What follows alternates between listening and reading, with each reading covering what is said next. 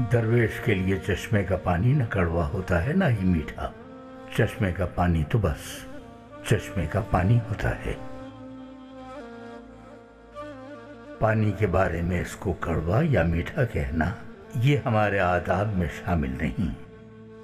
पानी हकीकत का अक्स होता है, और ये दोनों चीज़ें इंसान को सैराब करती हैं।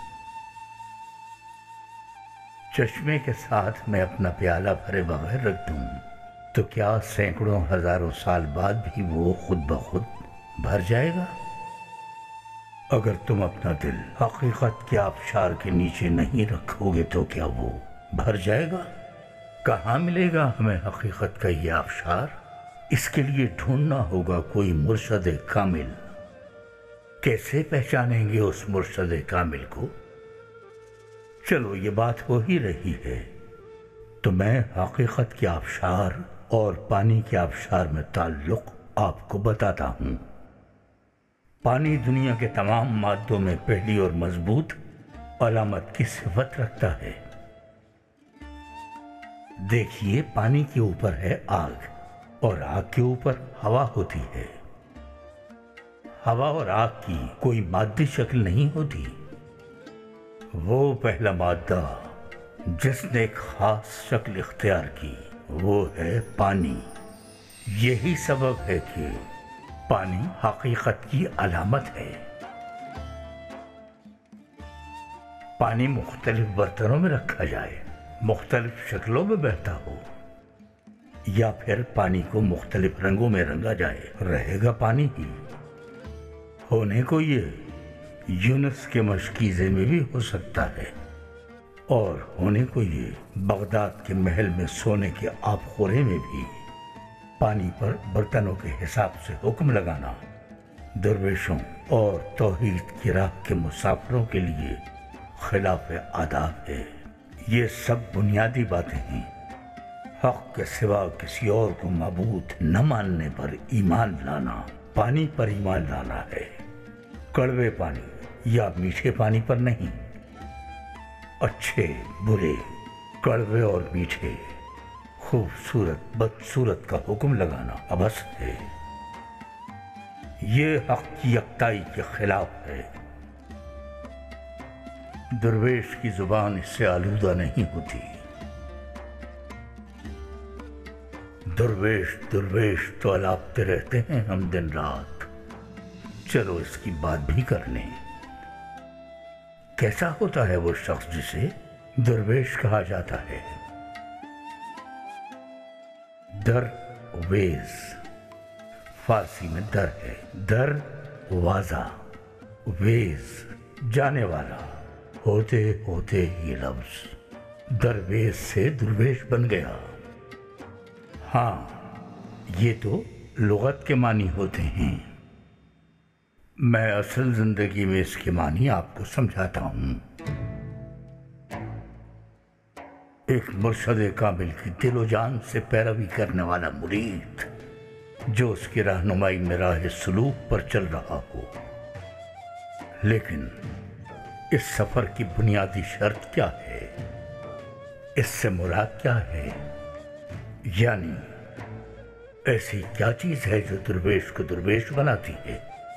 खिरका या दस्तार तो हो नहीं सकते। अगर ये सब होते तो बाज़ार में मिल जाया करते। दरगाह में आकर कौन रियाजतें करता? तो लीजिए, इसकी वजाहत भी जान लीजिए। ये वो बातें हैं जो हर कहीं सुनने को नहीं मिलेंगी। दुर्वेश की असल क्या है?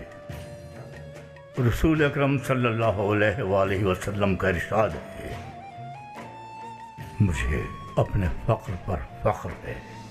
अच्छा तो ये फख्र क्या शय है? असल में फख्र, यानी कुछ न रखना फकीर होना है। अच्छा तो इसका मतलब हुआ, मुझे अपने पास कुछ न होने पर फख्र है। तो यानी कौन हुआ दुर्वेश? जवाब आप सल्लल्लाहु अलैहि वसल्लम से मिल गया। दुर्वेश? फख्र का अहल होता है। कुछ न होने का अहल।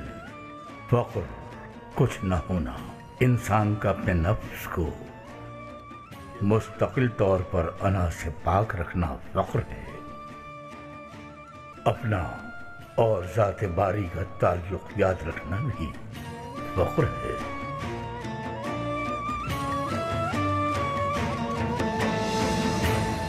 अब कहोगे ये बात तो हम जानते थे।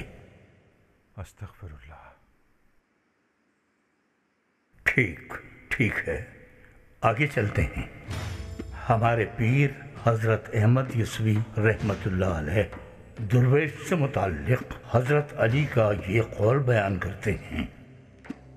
वो शख्स जो रात में नमाज़ के लिए नहीं उठता।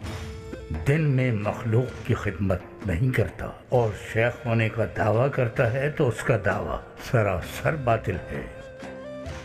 तो देखो क्या अक्स करते हैं पीर जसवी हज़रत अली के इस कौल से। ए दुर्वेश, तू अच्छी तरह जान ले, सबसे पहले शरीयत के मानी और उसके बाद तरीक़त के मानी। और फिर उसके बाद हकीकत के मानी। और आखिर में मारफत के मानी को समझना चाहिए। अगर कोई बजों में खुद अपने आप को सूफी कहता है, मगर ये बात नहीं जानता तो वो सूफी नहीं। और ये हमारा नहीं, हज़रत अली का फरमान है। ये है हज़रत अली करमल्ला वज़ू के अल्फाज में दरवेश की तारीफ़। पीर अहमद यसवी के अल्फाज में दरवेश की तारीफ़। ये राह सलूक के उसूल और आदाब में से है और इसके बगैर मुसाफिर को मंजिल नहीं मिलती। चार मकाम, चालीस मरतबे। इसमें भी कितने ही राज पोशीदा हैं।